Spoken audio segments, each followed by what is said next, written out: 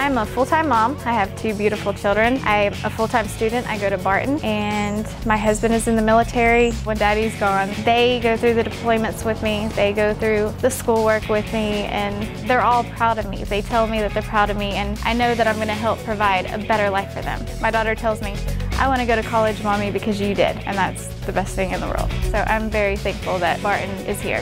My name is Amber, and I attend Barton Community College at Fort Riley.